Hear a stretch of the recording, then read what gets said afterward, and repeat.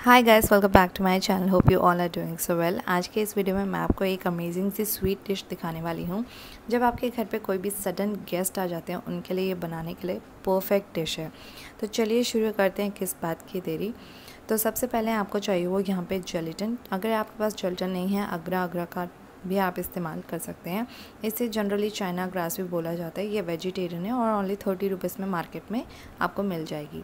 तो सबसे पहले पैकेट को खोलिए और थोड़ा सा पानी लेके बाउल में डाल लीजिए और ये जो चाइना ग्रास है, इसे आप छोटे छोटे टुकड़ों में कट करके कैंची से इसमें डाल लीजिए डिप करके रखिए टेन मिनट्स के लिए।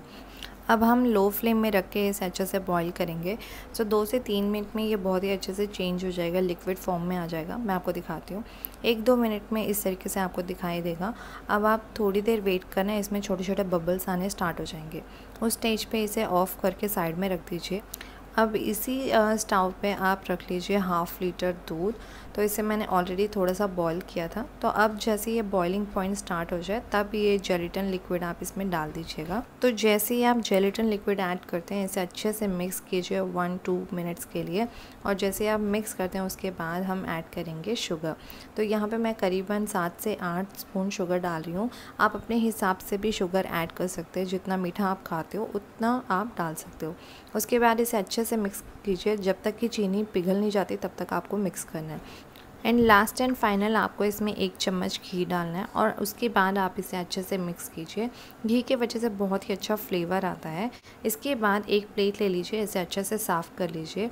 जो दूध का प्रिपरेशन हमने कर लिया था, वो सारा दूध आप इस प्लेट में डाल के स्टोर कर लीजिए। अब पाँच से दस मिनट के लिए आप वेट करना और ये दूध जो है दही के जैसे जम जाएगा क्योंकि इसमें जेलिटन है तो ये काफ़ी जल्दी थिक हो जाता है। सो अब आप इस प्लेट को बिल्कुल भी हिलाना मत, यहाँ से वहाँ मत करना और इसके ऊपर ढक्कन भी आपको लगाने की ज़रूरत नहीं है। Within five to ten minutes में ये बहुत ही अच्छे से जम जाएगा। सो पाँच से दस मिनट के बाद की फुटेज है दोस्तों ये। अब चाकू लेके इसे अच्छे से कट कर लीजिए। आपको जिस शेप में चाहिए, उस शेप में आप काट सकते हो।